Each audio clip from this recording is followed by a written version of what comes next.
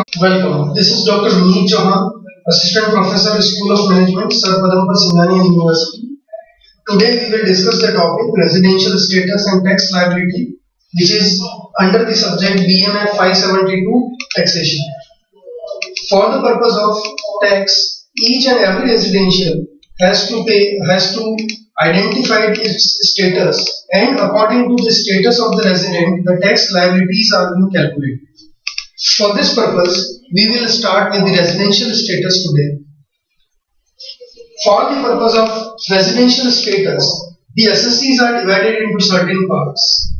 The assessees are normally divided into a single individual person, body of individual, association of person, Hindu undivided family, company and the other entities.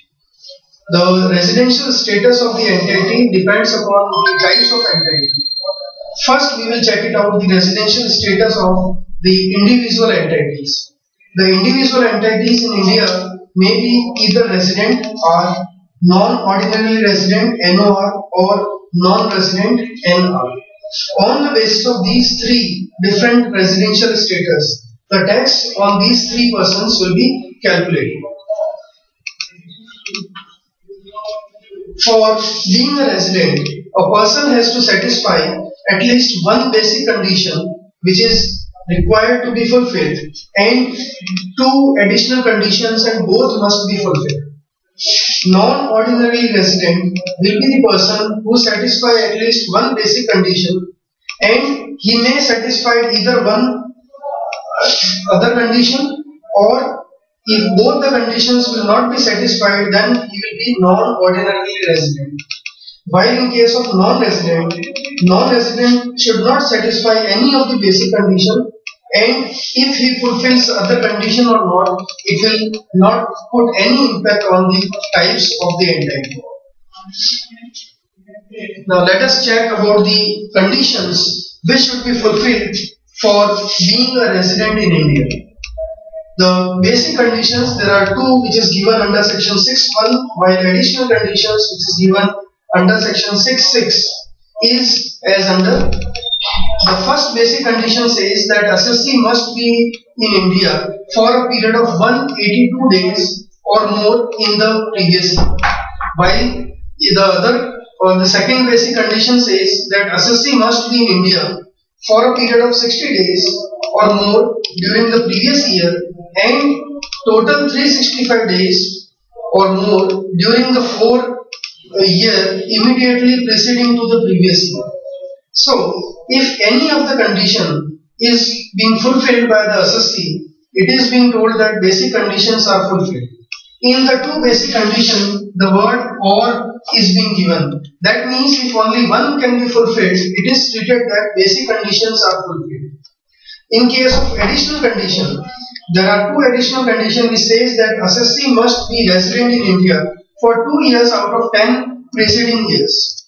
Now, the another condition which is there, but the or word is used here and in case the assessee will be will remain resident, both these conditions should be fulfilled. The second condition is that assessee must be in India during the previous seven years for 730 days at least. In case the assessee fulfill any of the condition, these I am making chart here to show it to you that what will be the situation of the person in case of these three conditions are fulfilled or not.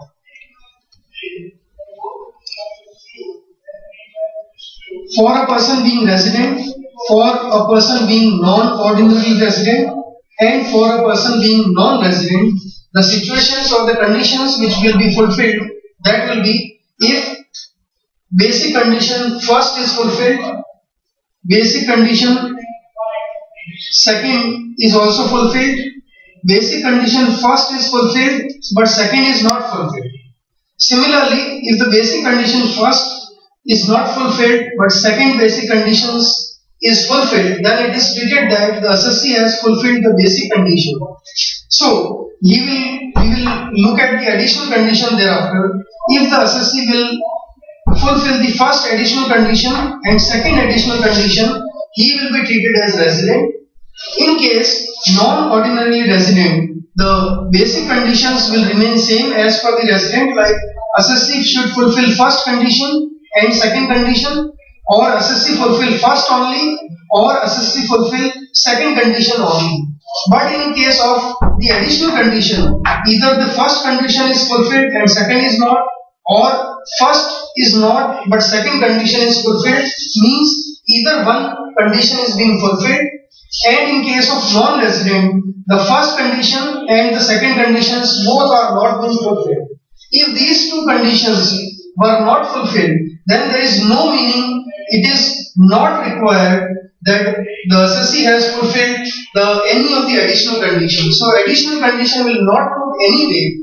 If uh, assessee fulfills any of the basic condition, both the additional condition, he will be resident. If assessee fulfills any of the basic condition, but not both the basic uh, the, both the additional condition, he will be non-ordinary resident. And if the assessee fulfills both uh, assessee is not fulfilling any of the basic condition, then in that case it will be treated as assessee is non-resident in India.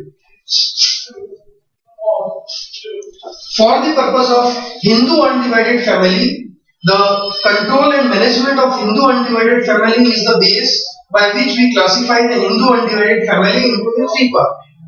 The Hindu undivided family will be treated as resident in India if the control and management of the affairs of Hindu undivided family or in short it is, it is called HUF is situated wholly or partly in India. Either wholly or partly in India will be treated that the resident, uh, the Hindu undivided family is resident.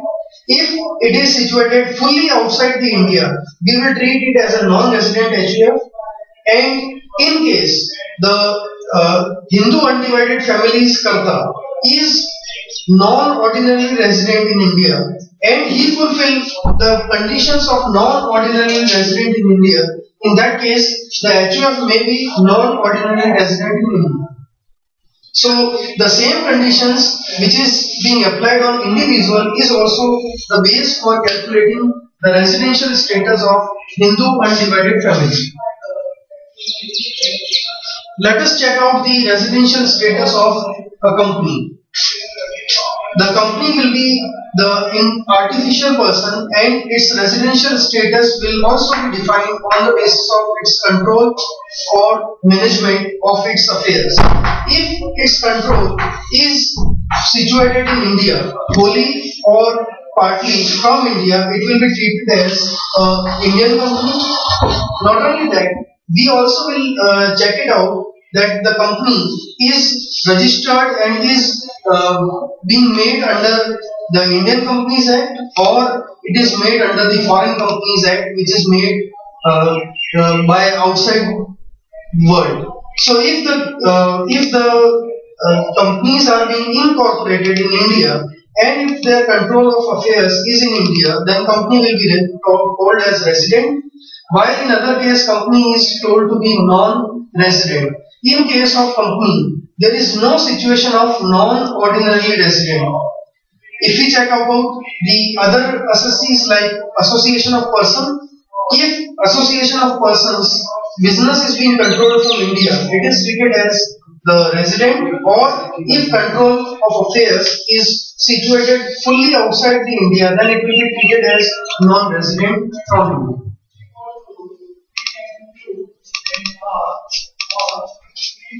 Now we will be checking it out one or two examples so that it will make us clear that whether the person or the entity is resident in India, how we calculate the residential status of the entities and later on we will be checking it out that how we write the answer of the questions which is uh, being given here.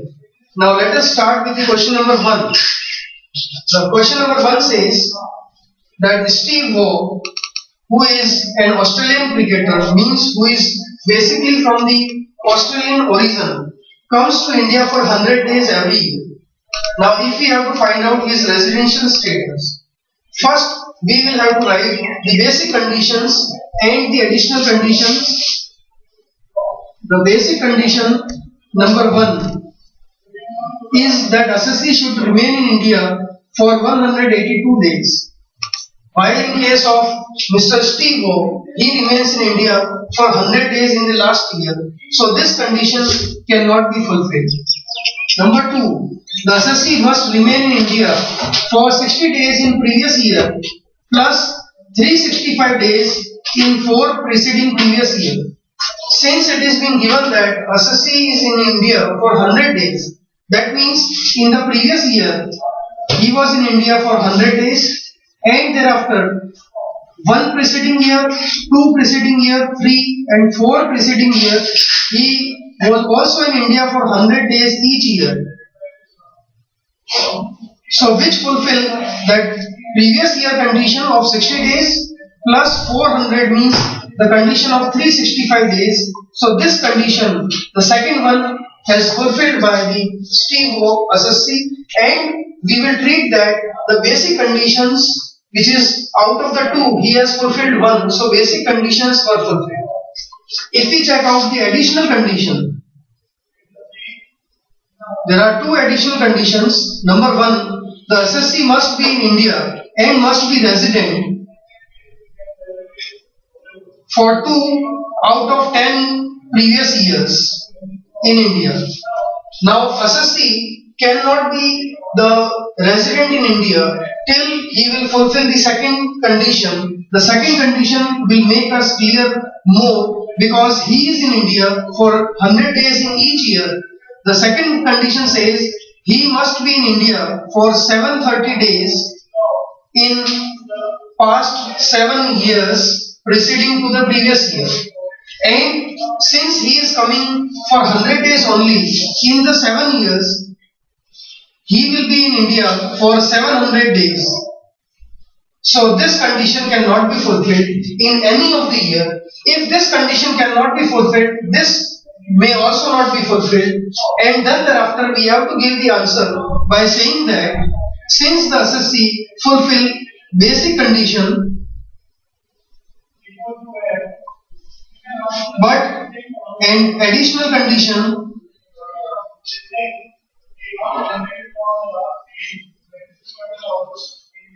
one additional condition has not been fulfilled second has not been fulfilled so the assessee will be called non-ordinarily resident in India. So this will be the way by which we will judge the residential status of a person if a person is coming in our country for a particular day in per year basis. Now since the question says that he is in India for 100 days each year, so the calculation process may become easier. But that is why we have also, I have also included the question number 2 in which we have to calculate the number of days for the assessee for the period for which he will be or he was in India. For this purpose, we will check it out. The question number 2 which says that Mr. C.A. a Japanese citizen left India after a stay of 10 years. So which means that he was in India for 10 years, continuously for 10 years, that means he may fulfill these two conditions. But let me check it out uh, by going ahead. And he left India on 1-6-2012. During the financial year 2013-14 means preceding to the previous year, he comes to India for 46 days. Later he returns to India for one year on 1-10-2014. So we have to check it out that how many days he was in India in the previous year and in the past four previous year. So let us check it out with the help of these conditions which is which is written here.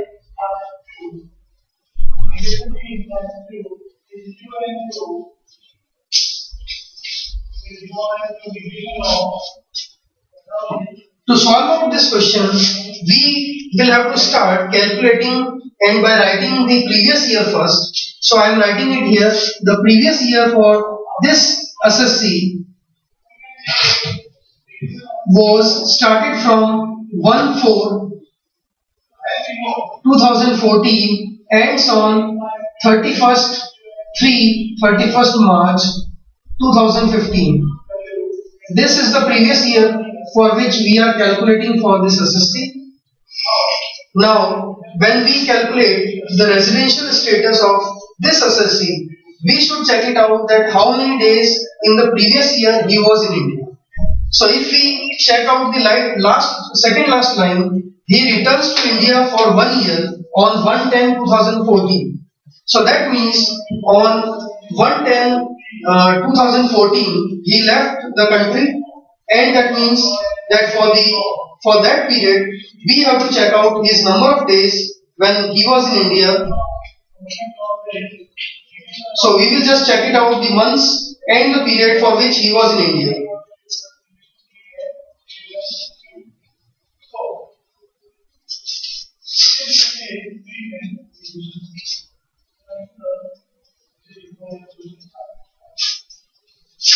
So first we will be checking it out for his period from the first uh, from the 10 10 2014 to 10 10 2014 to 31st March 2015 which will be in the previous year. For this purpose we write the number of days he was in India for the month of October which is of 31st day he was in India for 21 days. For the month of November he was in India for 30 days. For the period of December he was in India for 31 days. Similarly for January, February and March he was in India for 31 days and this is the March 2015 so it is of 28 days and last March 31 days. So the total number of days when he was in India was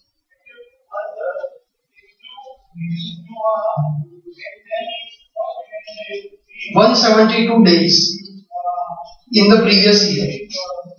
So the assessee who was in India for previous year 172 days is we can say that there are two basic conditions and out of the two basic conditions first basic condition of 182 days was not being fulfilled by this assessee.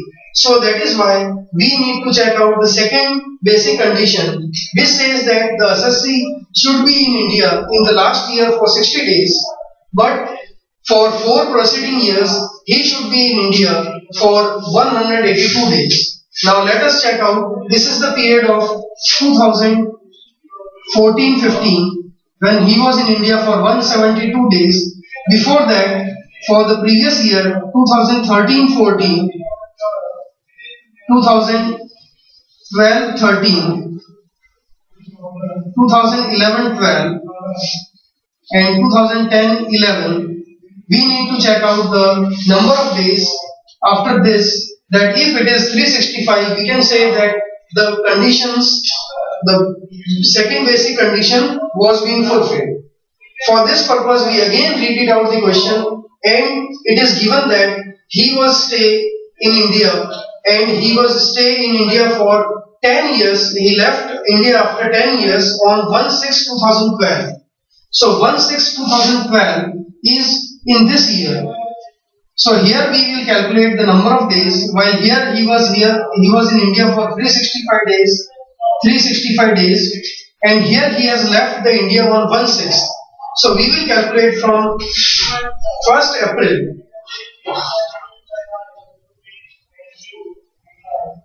From 1st April 2013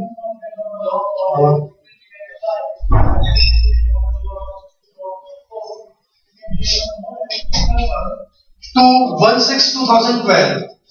So here I am, I am writing that for what period we are calculating his stay. For 1-4-2012